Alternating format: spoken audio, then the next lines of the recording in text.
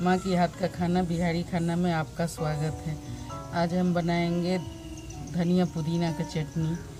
धनिया पुदीना का चटनी बनाने के लिए हम ले लिए हैं पुदीना। पुदीना के पत्ता से कम थोड़ा सा ले लिए धनिया।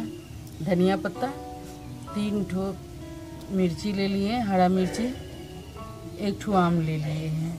इसमें से आधा आम हम चटनी में रखेंगे। सबसे पहले हम आम को छील करके काट लेते हैं।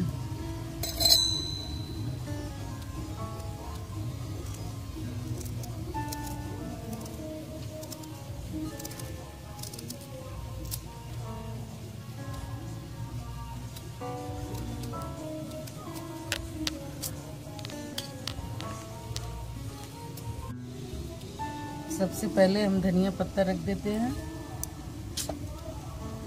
धनिया पत्ता रख दिए। पुदीना का पत्ता।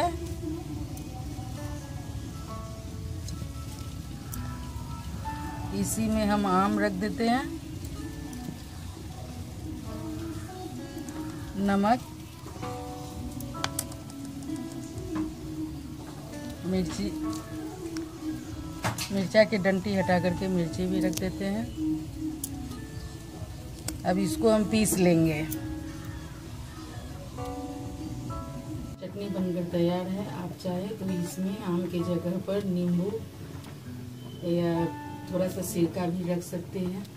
बहुत अच्छा बनता है। आप भी बनाइए, खाइए। अगर आपको अच्छा लगे तो लाइक कमेंट सब्सक्राइब शेयर करना नहीं भूलिए। वीडियो देखने के लिए धन्यवाद।